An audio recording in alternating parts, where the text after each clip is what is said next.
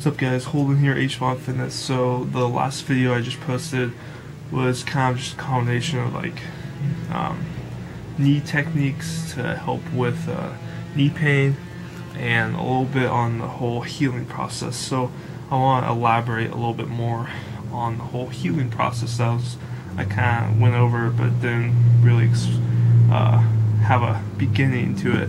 So this is kind of the beginning of that. Um, so if you have a swollen joint, okay, let's say your knee, okay, the whole idea is that you want to get that joint moving, okay? So try and prioritize movement first. Um, but here's the problem, you know, it is painful because of that inflammation process um, and all the fluid going into that joint but the goal is to try and prioritize that movement. Okay, so um, if you do have an ankle problem, let's let's just take ankle for example. So let's say you sprain your ankle. Um, if you really want to get through a fast healing process, the the goal is to put that ankle through a range of motion. Okay, try and move your foot around. At best, try and start walking. Okay, um, and, and then from there, if that doesn't work, we go back to the compression. Okay, so you want to compress that foot down, which is pretty easy if you have like voodoo floss, um, even like bicycle tubing. Okay, just some sort of elastic rubber band. Um, you know, just a big band. You could even use the uh, resistance bands. So you tie it around. Okay, use elevation to get that uh, joint and help it help it with uh, gravity okay? So elevate it compress it um, for example if you're doing it on your feet try and get that band as close to, to your toes and over the area because you want to pull everything all the fluids back to the heart okay? Because that's where the lymph system will come into play and that's so you just want gravity to help you and some compression. The next thing you're going to do is apply some sort of heat.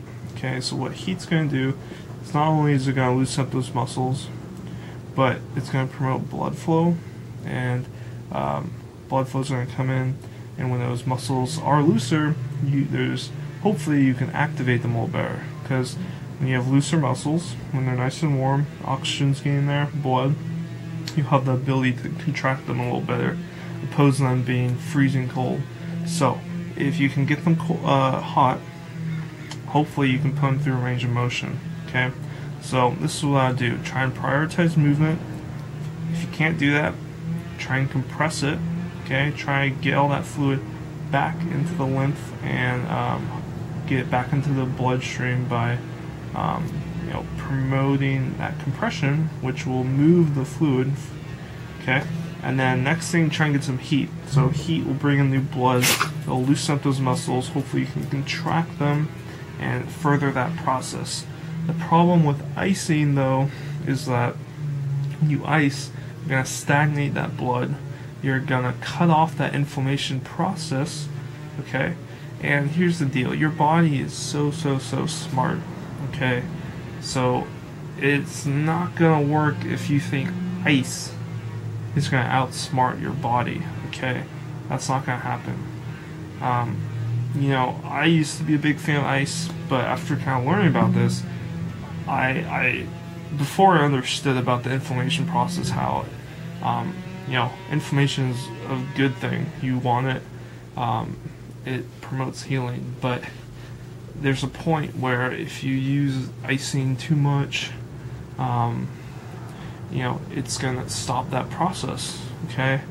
So if you're icing a joint, it's going to stagnate the blood, not going to allow it to get back into the lymph, and uh, there are studies that will actually push the fluid back into the joint, into that um, spot of irritation even more, okay? So that's not good, okay? So here are just some tips that I want you to try and do next time.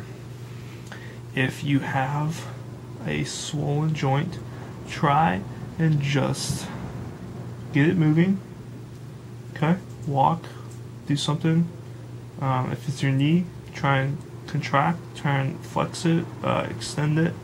If you can't do that, then try and lay down, compress it with something, try and get that fluid back into the lymph.